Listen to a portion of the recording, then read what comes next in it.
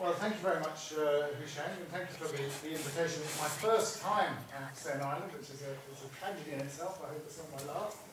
And uh, um, fascinating uh, set of papers, and I'm just going to basically throw out a few comments and questions, and maybe some of my own thoughts on, on, on uh, some matters raised. So, uh, starting with Moya and, and the acquisitions um, acquisitions policy of uh, the V&A its associated, uh, obviously, institutes. I was, I thought, very struck, and I thought it was very uh, good of you to bring out this notion that this wasn't obviously simply a question of plundering the East uh, for various artifacts, and that actually, uh, although I was, I was quite surprised to see, see how, how at the forefront of this policy of acquisition was the idea of, uh, of learning from the East, natural fact, that one wanted to go out there to find uh, ways of, uh, of acquiring better better design. One thinks of Steve Jobs actually, in, this, in the, the, late, the late Steve Jobs and his, his desire to go east to find ways of designing things better in the west. I thought perhaps the one thing I had a little question mark I have to was I thought perhaps you were a little bit too generous to Nasruddin Shah because I, I, I thought this attitude of him sort of wanting to help us learn about uh, uh, aspects of the Eastern Persian culture. My uh, reading of Nasruddin Shah is I, I often wonder whether he knew what he was doing. Um, I, I, I sort of get the impression that he liked sending little bits and pieces abroad and he liked travelling abroad, but probably didn't really fully understand what the civilizing um, aspects of, of, of, you know, the cultural exchange was all about. I mean, if you look at some of the aspects of uh, even the archaeology that was taking place in Lake uh, Qajar, Iran, he seems to have a very, very sort of, I wouldn't say dismissive, but rather sort of, um, uh, uh, I, I, what would the right word be, but uh, um, not a not very deep understanding really of what it was all about. So that was the, the, the only thing. And of course, I think you quite rightly brought out these, these ideas that in amongst this sort of process, this civilizing process, or this idea of improving um, attitudes in the West, of course, um, a lot of dealers uh, probably did a lot of rather uh, unfortunate things. I think in particular the Horton Shah what happened to that. Oh, yeah. um, but as you say, I think the Harjals and certain sort of families in Iran were fully complicit in some of this sort of basically black market dealing as far as we could see of, of, of sending artifacts uh, westward. But certainly the idea of it as being something where you wanted to educate the public fits in very well, I think, with the notion of the Enlightenment narrative that you get in the Whig tradition and you get in, in, in the West in this period. Ah, now back to Lady Sheil, uh, interesting Lady Sheil, which I'm pleased to actually teach Lady Sheil a little bit in, in, my class on Britain and Iran, actually. I might have to change things a little. Only bits, because as you quite rightly say, uh, Brendan, uh, it's glimpses, isn't it? It is glimpses. Um, uh, and I was interested actually in the way, you know, what, what she was projecting and how, in part, as you said, she projected her own anxieties, I suppose, partly onto on, onto her Persians, as she found. I thought you were quite right to stick with the term Persian because it's very much part of her sort of conception of what the Iranians are about. Um, however ignorant in some ways she may have been about the whole um, uh, project.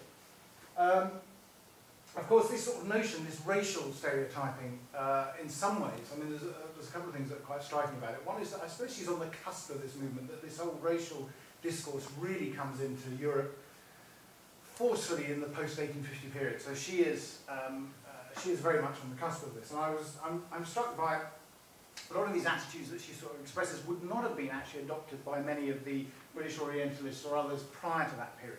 They had a much more open sort of attitude to what the problems were uh, in Iran. And it wasn't characterized as sort of a racial thing, but more as an aspect of bad government and what despotism meant for the way in which society worked.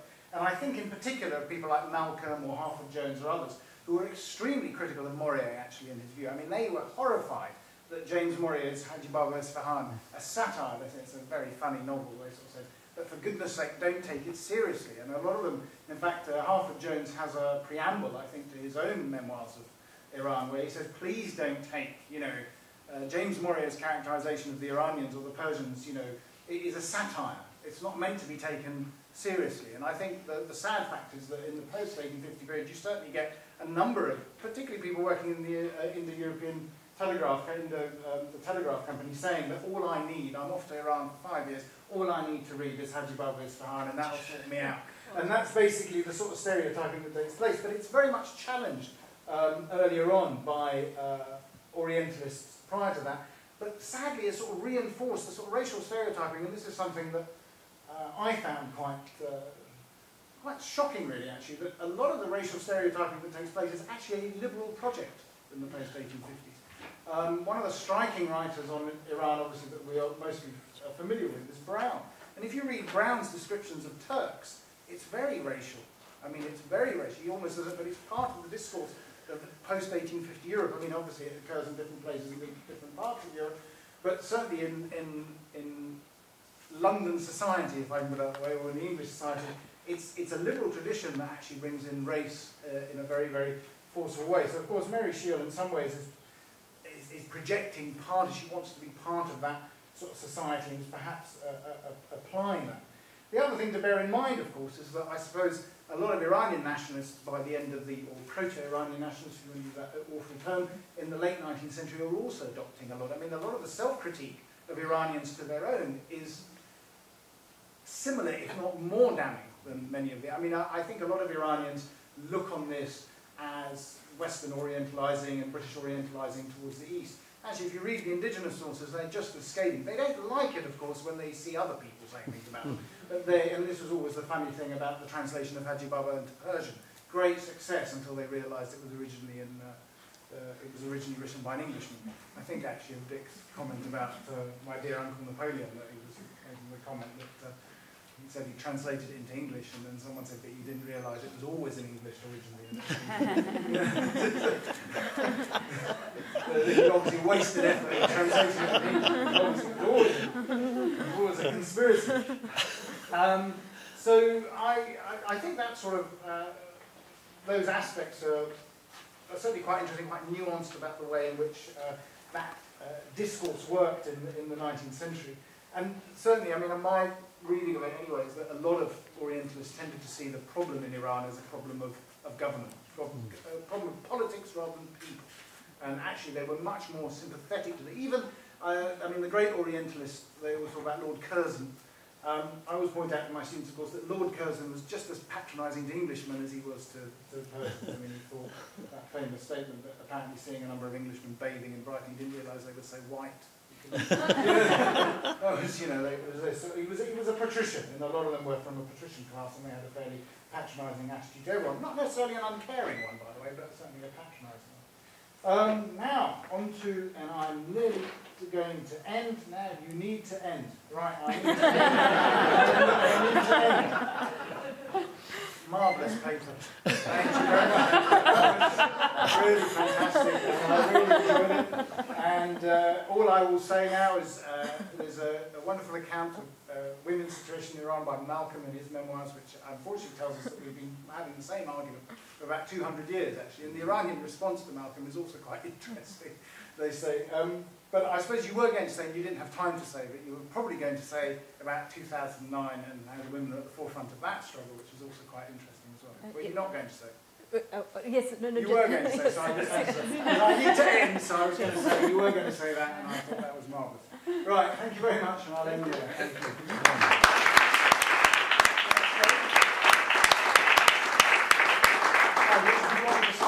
Uh, no, no, I think uh, since uh, we've gone over time, there won't be much uh, uh, time for a discussion um, because uh, it was Grace who told me actually that I had to tell you that uh, oh. the conference was up, right? Oh, no, sorry. Oh, oh, I can go back. why, did, why did you tell me I needed to tell him to wrap up? No, no, no, eventually, but you went to have rather than me. oh, okay. I see. Very good. So we have some questions. Uh, we have some questions. Is there anything left everyone? no. No, no, no. Very good. so, yeah. So. Um, can I, can I ask, can I ask about the, the um, constitutions and so on? Um, when, when I was young, um, and you know, before gender was invented,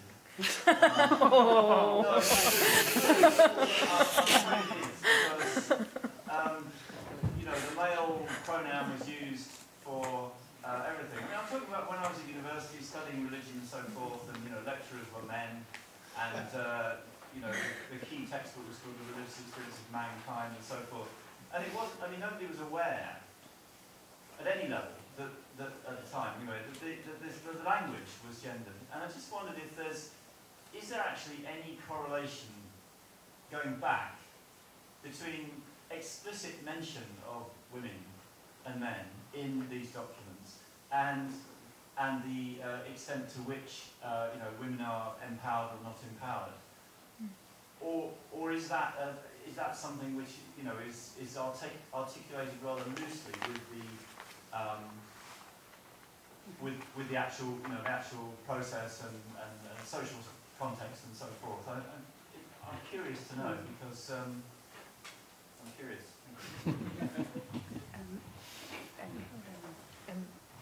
Yeah, go ahead. And sorry. no, no, just very briefly, I, I just uh, cover the Irish side very briefly, and then I give over to Ruja, and it's a very interesting question. Thank you for that. Um, yes, when, when we see, well, how uh, the mentioning of man and woman in the Constitution is riding into the national discourse, and we see that, for example, in Ireland, covering the Irish side, by um, subsequent legislation uh, being measured on the Constitution in the 1920s and 1930s in Ireland. Um, for example, the 1925 uh, Civil Service Regulation Bill or the Marriage Bar, etc., etc., um, would, would, or the, the, the acts, the Juries Acts I very briefly mentioned from 1924 to 1927, would, would show in how far um, the Constitution and the changes have actually Im influenced legislation, subsequent legislation, and putting the woman in their place, in their private space. And it has not been seen in interpretations um, of that Article 41 of the Irish Constitution as um, as terribly uh, downing or, or just um, discriminatory. It, it, has been seen as a kind of a chance to give the woman the chance to be in the private sphere, not having to participate in the public sphere and having the, the, the time to educate their children, etc. So it hasn't, it has been put, you know, in, in that kind of way and has written into the national discourse, which we see in the women's movement when there was a kind of a an attempt to change those national stereotypes and those images.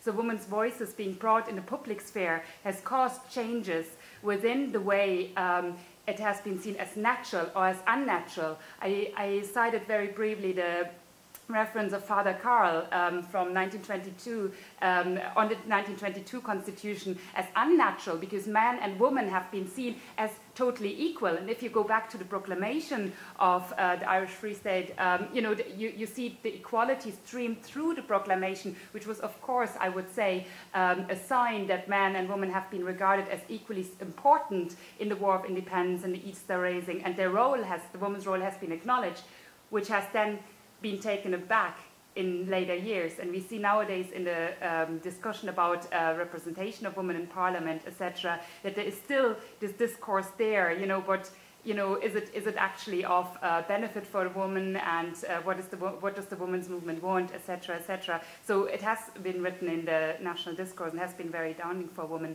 to um, to change that. But there has been changes, and that shows like the interaction with the constitution was very important and it got always referred back to the constitution. Sorry, sorry.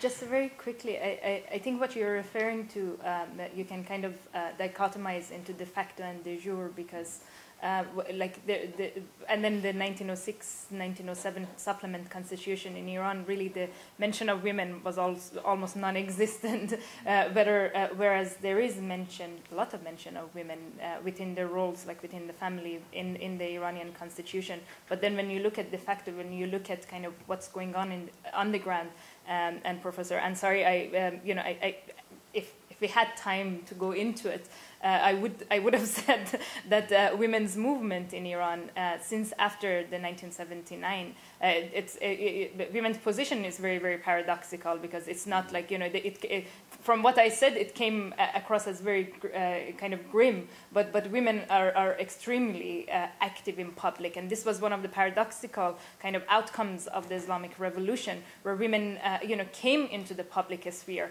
as part of the politi politicization and Islamic Islamicization of Iran. You know, uh, um, uh, families which were really, really religious, let the, because of the segregation, because of the veiling, let their children go into segregated spaces of education.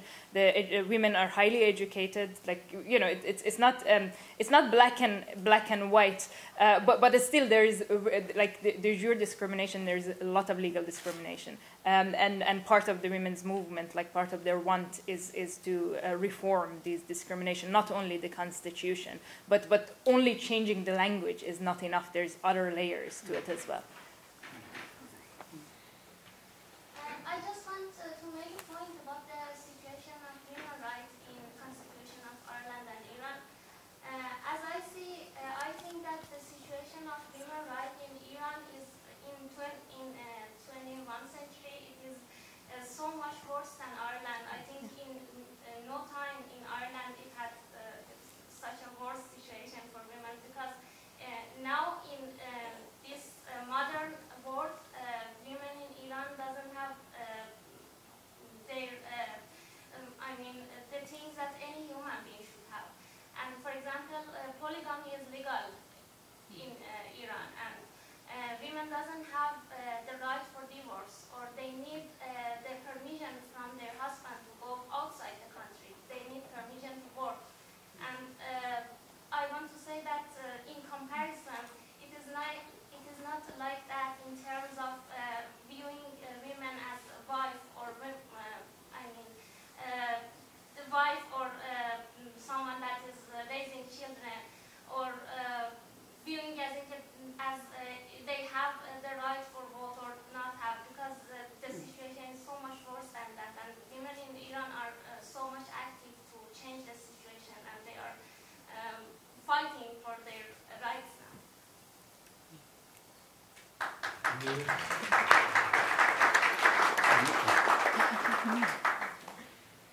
Any other comments or questions? Of course, you agree, right? Um, Well, well, I'd like to know why. Yes. I'd like to know why Lady Sheil was buried on her own in Glasnevin.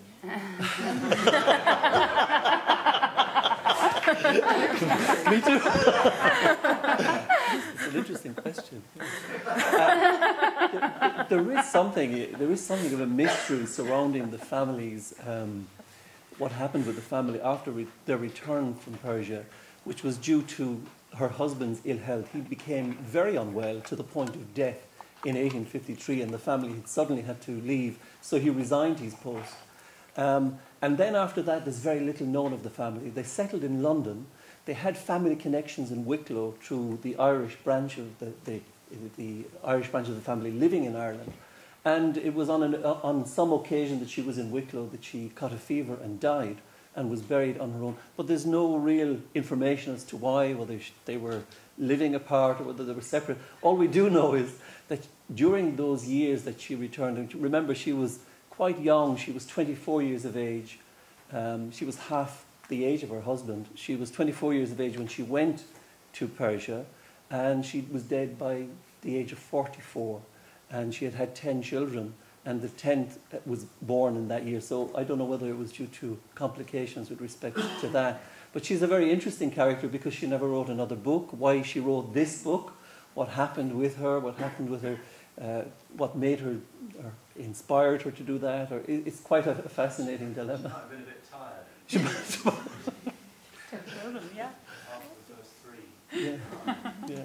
One of her sons was a quite a well-known nationalist MP in Ireland, and as I mentioned, a number of them went into religious life. So there was a real kind of relig- religiosity, uh, Catholic religiosity within within the family, or strain within the family. If I may ask a question, many people have, of course, uh, commented on the similarities between Catholicism and Shiism and the importance of rituals um, and so on. Um, could that have predisposed her to have a more sympathetic view of uh, Shiism than Europeans would normally have had of Islam? I think that's a very interesting point. I mean, I, I think, and she makes some comparisons. I mean, in her book, she comments on on Zoroastrians and on Sunnis, but mainly, and of course, it's the majority population. It's mainly the rites of Shia Islam that she she she actually goes into detail about, um, and that with respect to the Ashura. Uh, uh, celebration. She goes into a lot of detail and is, and is genuinely moved by that. So I, I think that's a very interesting comment. And of course, she goes into all of the, at great length, into the, into the Babi upheavals and the Bab and all that tension surrounding that within, within the country. So I think that's very true. She was very overtly Catholic, and she was not really, she would never uh, abjure that part of her identity. Her Irishness, she certainly kept in the background, but I was trying to say, I think, was that there was a particular reason for that. She probably would not have been uh, accepted, certainly would not have been accepted. Uh, her, her book would not have been accepted if that was uh, very clearly the, known. Um, and I think she would have, she would have known that, uh, that that was the case. There's another point is that every uh, travelogue to Iran contains a chapter on Ashura. Yeah. oh, right, okay.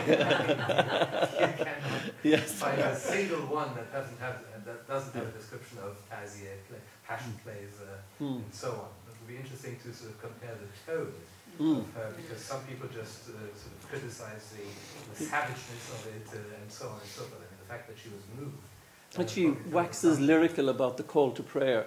I mean, she makes quite an extraordinary statement that, that the, the bells of St. Peter's and St. Paul's yeah. uh, cannot compare to, you know, so that's the kind of the effect yeah. that it has on her. Yeah. Any other? Yes, sir. Um, uh, just as a point of interest, uh, as far as Major General uh, Shields is concerned, today in, in, UCC there was another all-day seminar on the Book of Lismore, uh, which is on display in the Glucksman Gallery. And one of the book, one of the parts of the Book of Lismore is um, the the travels of Marco Polo. And when the Book of Lismore was discovered or rediscovered in Lismore in the 19th century, the first Irish person to actually make a commentary on that Irish translation of the voyage of Marco Polo was in fact Major General Shields there. Well, to interesting. the cycle of what's going. That's scary, isn't it? Hide it all together. Yeah. I just wanted for Mo um, to ask Moya actually about um, gender in museums because um, yes, it, it, struck me that um, the whole process of collecting and uh, purchasing and sending and discussing and so on is pretty much, you know, was pretty mm. much a male-dominated activity. And I just wondered to what extent, or has, has that, this issue been raised, to what extent the representation of Oriental cultures was, well, you know, despite the, the, the, the kind of Orientalist tendency to, to feminize or soften Oriental mm. cultures or whatever. Uh, to what extent is it, do you in fact have um, you know, a male gaze represented by the kinds of items that were sent back, the kinds of items that were selected for exhibition? Is that an issue that arises at all? Yeah, it's a, it's a very interesting one, especially if it comes to costume. Because a lot of the textile examples, these are pieces which were acquired in the 19th century as examples of Persian design in textiles, so different techniques. They're mostly um, female costume. So we have a few male things. We have a pair of Qajar wrestlers leather trousers, for example. So we've got the odd thing which are from like a male only domain, but mostly we have um, women's clothes or fragments of. And I don't know. Um, well, in terms of where did they, where did they get these objects? Why did they select them? What was accessible to the likes of Jules Richard and Murdoch Smith when they were buying? We, we have V&A's archives, we, we still know so little about where they went to to buy them. But it's interesting that in, in the case of textiles, it's so very feminized in terms of the objects themselves. And when it comes to display, um, then we're really coming into Orientalism with sort of display of picturesque people, or, or women especially, and in terms of how costume has been historically displayed, and the fact that the museum is just weak in male costume in the late 19th century and suspiciously strong in female. I, to be honest, I'm not sure if that is because the collector's eye was interested in variety of technique. Perhaps they found it, but I'm, I don't know. I'm just not sure what, what their options were when they were acquired, if they simply took everything they could find, which is possible, or if they made a selection on the basis of some aesthetic judgment. Because the aestheticism of the design museum is, is a really significant part of what choices they made. They made a they made big choices towards blue and white ceramics of Safavid era, for example. And that is not because blue and white was the most important thing Safavid potters made, but it's because blue and white craze in Victorian Britain in the 1870s was at a height, and that is the kind of thing a Victorian buyer would choose in the 1870s. And I'm not sure how I can apply that to textiles at the same time. So yeah, it's a really interesting question, but we don't know enough about what their options were as they were buying. But we know that they were interested in the objects for design rather than ethnographic or social reality that they were attempting to display with them. That wasn't their mission. It may have been an outcome, but it was it really wasn't their wasn't their overt agenda. I'm not sure if that really answers your question. Well, it, it suggests that there isn't a, a kind of cutting edge debate about gender and museums going on in the sense that you're, you're not fending off that kind of question in, um, you know, in, in, in discussion. But I mean, I suspect that there, there probably is a Mm. story to be told Yeah, about yeah. Um, Mm. that aspect of, um, of museums. Yeah, And, no, I mean, agree. Museums have changed their role a lot, haven't they? Yeah, completely. Mm. They were probably scared that men would dress like the white Mughals, Like, the white Mughals. Turbans and things like that. Yeah. She was thinking that, Well, that in general, women's, women's costumes tend to be somewhat more elaborate than men's costumes. So if you were interested in elaboration, as the Victorian Design Museum would be, that would be your choice. And If- the other if thing they- is that this, this wasn't, choice. th- these weren't uh, collect, these people weren't collecting items for ethnography museums, for anthropological museums. The, the artistic dimension was important. I mean, today when I go to any shop anywhere in the world and try to buy textiles, it's usually women's costumes that I find, not men's costumes, because men's costumes tend most of the time, except for princes and princesses, to be less elaborate. Yeah, and the, And it's interesting that you bring up the the two, the, the Leslers uh, trousers about which there's an article in uh, in, a, in, a, That's right. in a journal, right? yeah, I mean, those are embroidered. Yes. Right? So that And was so probably the, the why two, they were. That's why they're there Yeah. because uh, they're two items of men's clothing that happen to be embroidered, which is not the case for most uh, textiles uh, associated with men.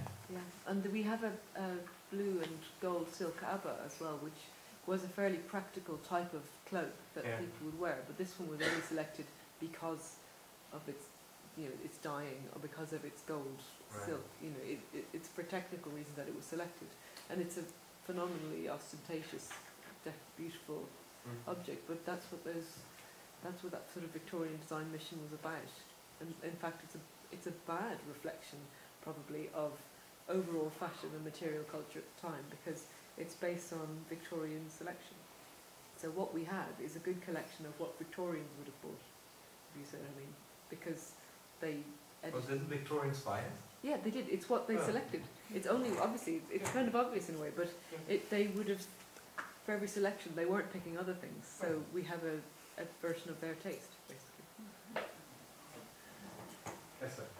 Uh, I would like just to include uh, one similarity between uh, Irish law and the Persian law, and that is abortion. Uh, as I know, a few days ago, the Minister of uh, Justice and Defense rejected the, the proposal of other European countries to reform the Irish law.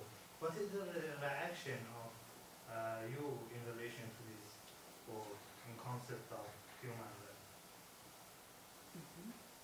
I, I can, I Okay, asking yeah, Yeah, yeah, yeah. If, if you would like to just, you can answer. No, no, You're, you're can both. asking We what we think of abortion first. Sorry. Yeah.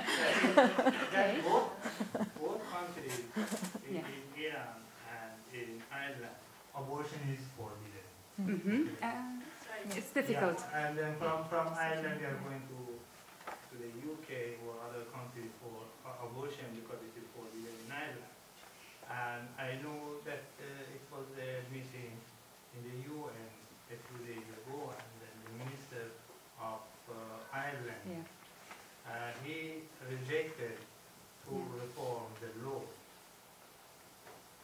Well, Then m- many, many European countries mhm. they uh, protested against this uh, law in Ireland and they believe that Ireland has to change the law Mm. and to al- allow abortion Mm. in Ireland as Germany Poland or or other European countries, but still the Irish government is going to reject it and doesn't want to change the law. What Well- is your reaction in concept of human rights? Okay, the reaction. Well, first of all, it's very complex and it's very complicated in Ireland because there have been Supreme Court cases and decisions, you know, for the right to travel, and there has been also um, the, um, the- well, well, changes like the, the uh, in 1992, two amendments passed uh, to the Irish Constitution establishing the right to travel and the right to information. So it's a little bit more complex, and I suppose the current debate um, on reproductive rights in Ireland um, is, well, on one side, yes, of course, you know, there, there is the, uh, the performance of um, the of abortion in Ireland is um, is not allowed, as you rightly um, outline, and there has been, um, well, from the UN and from Europe, uh, kind of a push towards, um, uh, well, um, changing that law in certain ways. Um, I, I just looked through, and I don't have the actual numbers in my head at the moment, but um, recent opinion polls, you know, at least, you know, um, in uh, well, in cases where um, there is danger for the life of the mother, incest, and what was uh, life of mother and danger, incest, and uh, if uh, there is an abor- um, abortion asked um, after um, sexual um, violations, etc. Um, well, there, there has been definitely uh, cases where where it has been like semi-legal, you know, and in these cases it has it has been changed, um, or and the public opinion has been changed significantly since the since the since 1992, um, where the Third Amendment, um, which would have defined when abortions could be considered as legal, um, was defeated. So the Supreme Court has a little bit interacted with this Third Amendment anyway, you know, already, and public opinion has changed in Ireland. Um, but if there would be a new referendum, what I would think what the outcome would be is very, very hard to predict. You know, I think, um, especially in Ireland, the entanglement of religion and uh, nationalism is quite, um, and still there, as I outlined, you know, and there is still uh, a fraction there, but um, it's very hard to predict. But uh, opinion polls ratings say that there's a considerably mass, critical mass in Ireland who would uh, favour um, abortion if there would be legislation of a certain kind um, proposed. You know, but there needs to be a referendum because it's a constitutional issue. So there needs to be a referendum, um, I think, in, in, order to pass that.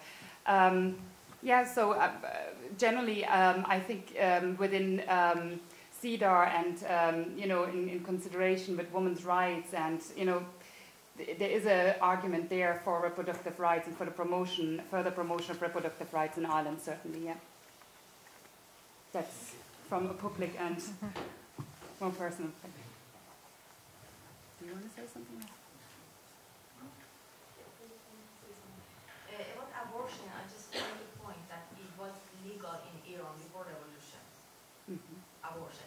And about Ireland, just a few years ago when uh, it went to parliament to make a decision Mm-hmm. uh, mm, regarding that just 13% of uh, parliament members were women. So actually, technically, uh, men made a decision about abortion Mm. in Ireland. Because just Um. 30% of uh, parliament members were women. So it's a a really Good point.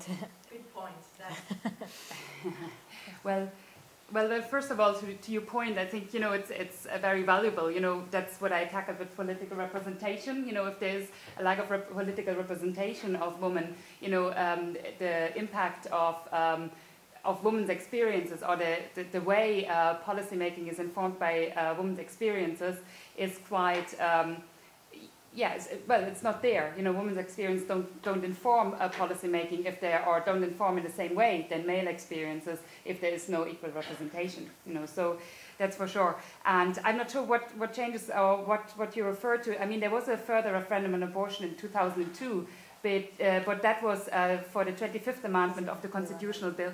Oh so, uh, were you saying about iran? Iran. yeah, iran, iran. oh sorry sorry. I was, yeah Was a com- which was a comment, That- so I that won't was a make comment, a comment yeah. to your comment.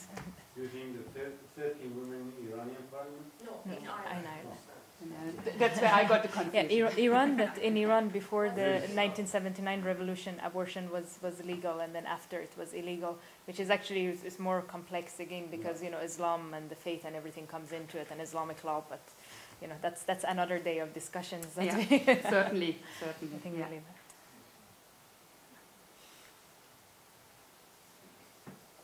If there are no other questions, we can perhaps this time wrap up the conference for good. Any? Okay. I would like to thank not only the uh, four panelists of today, but all the other speakers uh, who have regaled us with their wonderful talks and uh, original research today, and especially thank uh, my friend of uh, four decades, Grace Neville, uh, for having uh, hosted uh, and got her uh, institution, Uni- University College Cork, to host uh, this wonderful uh, conference, which uh, for me personally ex- exceeded all my expectations. Thank you very much.